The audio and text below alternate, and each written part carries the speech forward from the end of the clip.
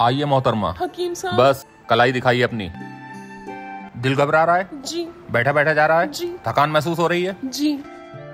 तुम्हारे सास ससुर आ रहे हैं तुम्हारे पास एक हफ़्ते के लिए रुकने। हाय अल्लाह हकीम साहब इसका कोई इलाज नहीं है। कोई इलाज नहीं है।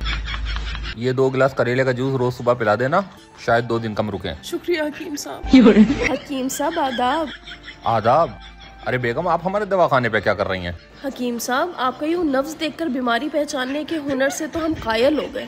सच में हम बहुत खुश नसीब है कि हमारा निकाह आपसे हुआ। पर एक बात बताइए आपका ये नाम हकीम नजूमी क्यों पड़ा? दरअसल हम लोगों की नफ्स देखने के साथ साथ हाथ देखने का भी हुनर जानते हैं। अच्छा तो आपने हाथ देखकर ही पता लगाया था कि आपका निकाह हमसे होने वाला है?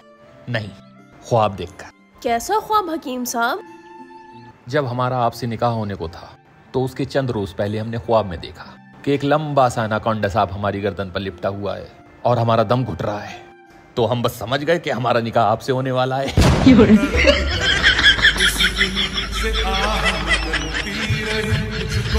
अगले मरीज़ को भेजो।